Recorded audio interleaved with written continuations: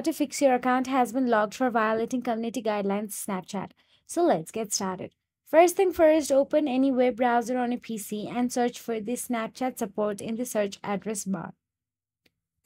Then, once you search for it, tap on the first option available there. Now, all you have to do is after that, simply inside the Snapchat support, tap on the My account is compromised option available there.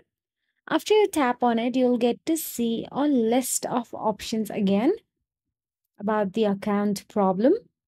Now, from this now, from this option, all you have to do is tap on the My account is compromised option again and now scroll down and you'll get to see the form option available there. Fill out the form with your Snapchat information.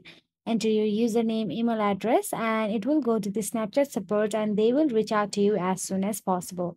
So that is it. If you found this video helpful, please like, share, and subscribe. And thank you so much for watching.